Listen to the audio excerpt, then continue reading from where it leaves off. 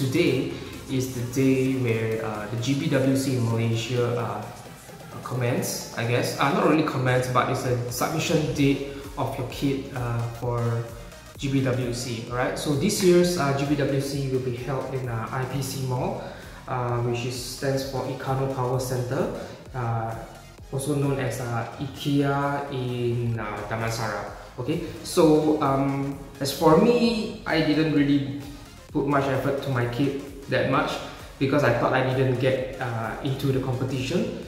Uh, because I submitted my entry uh, via uh, via email this this time round, alright. And then I was expecting an SMS, but so far a lot of my friends they received SMS, but uh, for myself I didn't receive anything. So I thought that maybe mine got rejected or maybe they didn't see it. So I just sit on it and then I was uh, working on my this Shenlong kit, right? So, and then all of a sudden, this Friday, suddenly there's an uh, SMS to me, uh, which is said that okay, uh, dear GBW's contestants, blah blah blah, bring your kit over to IPC shopping mall at this date, this time, and like that. So I took an off day today and get packing my kids right? So uh, this GBWC, of course, I don't expect to win, uh, but GBWC uh, winning is just a part of it. But um, you, I mean, why actually I joined GBWC is mainly just to participate, just to show people what what I, what I can do. Uh, they might like it or hate it; it's up to them. Um, but the most important thing is about community, is about support. All right. So um, joining is just for the fun of it. All right. Just have fun together. You don't really need to like, I'm better than you, you are better than me. If you think someone else is better than you, then you may ask them uh, how to improve from your kit or so on and so forth, right? So winning is not really in my mind actually, I just uh, do it for, for the fun of it. So as you can see from my Gunpla model, alright, um, the custom part that I didn't really put in the video is basically the decals and the weathering. Um, but then that is actually what I did earlier on, alright? But I actually just rushed my base. I just painted and decal my base yesterday, right? So it's actually a very very rush, rush thing. Okay, so yeah, just see see how it goes. Alright, so uh, I'm gonna start packing now.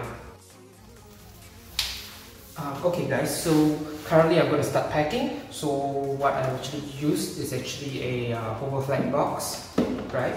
Um, you can use any box, uh, but I just prefer to just use any um, box that I already have. Right. Um, also, sorry for the flicker in the video is because that my fan on top is uh, winding down and then the lights is uh, yeah basically it's just the shadow of the fan alright so what I actually do is that actually I get um, a, some paper right um, and then remove the uh, what is called the staplers alright so that it doesn't scratch the kit um, but as for my kit it's actually weathered so not really a big deal.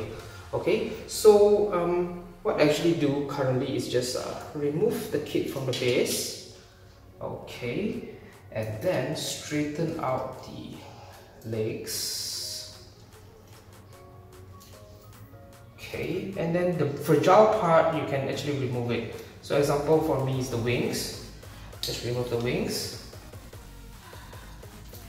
arms I guess um, yeah so for the shield I do not want to remove the shield so I just remove the whole entire um, arm right so just put it aside.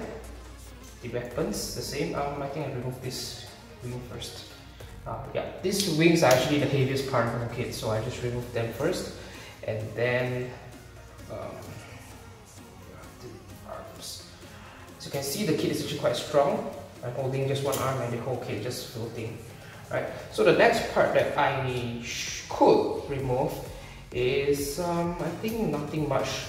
Okay, just straighten the head okay make sure everything's okay and maybe the back skirt because the back skirt is actually quite fragile because I already cut it off and I modified the pack so just try to just remove it slowly out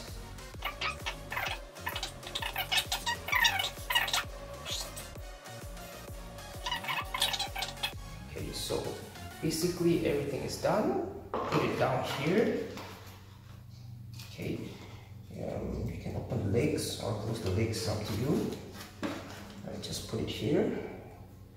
And then two pieces of paper.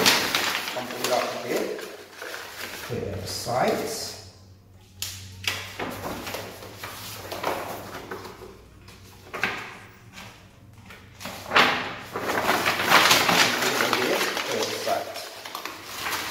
yeah this is basically um, not really a best way I would say but it's good enough right?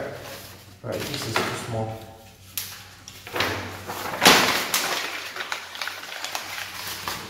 So this is actually just to cushion the side movements all right okay then the rest basically you can do is um, I think the gun is fine and oil because it's very very hard to um, damage okay? And then the the uh, what's this called?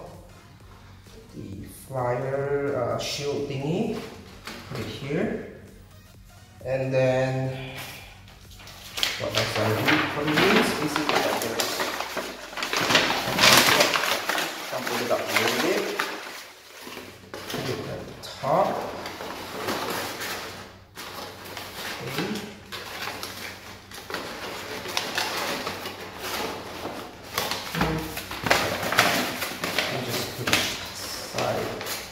then just put in these wings here. Right of, of course the wings folded up because if it is uh, open up it's actually easier to break. So just fold it up and try to fit it in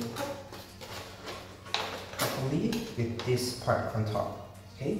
And then once it's done just close it. Um, okay one more tip is that if the gunpla is standing this way, try to get the gravity down this way. Alright, so just cover it up, follow the orientation, and then stand it up. Okay, so that's about it. So just be very slow and just leave it this way first, and then put it in the bag. Make sure you're standing up. Okay, so done it is back. Um, next problem is stand I can't really find a place to put it so I guess I'll just uh, put it here. Okay so um, alright so the next tip what you should actually do. Okay guys so if you guys ever entered GBWC before or uh, this is your first time or you planning to attend in the future always remember there is two most important things you should bring Alright, so um, one of them is a super glue or whatever glue that you're using. Always remember to bring it because uh, parts tend to break or you know shit might happen. So always remember to bring a, a super glue and some sticky tape. Right, so this is actually very important. So in case, for example, if some part of your stand or some diorama broke off, you can actually just glue it back right? Because sometimes it might get damaged while transporting it. So yeah, and because you know the way I pack my kit is actually very very simple. Um, so it might get damaged easily, right? So this is not really the best way, but this is my way, alright? Um, previously I uh, packed a, what is it called? A 160 scale Exia for GBWC. I actually um, separated into two boxes right? So I bring two boxes over to the competition and there is a big base, right? So for this time, I just try to go simple and light, um, just for the sake of just joining, alright? Okay, so let's go get going.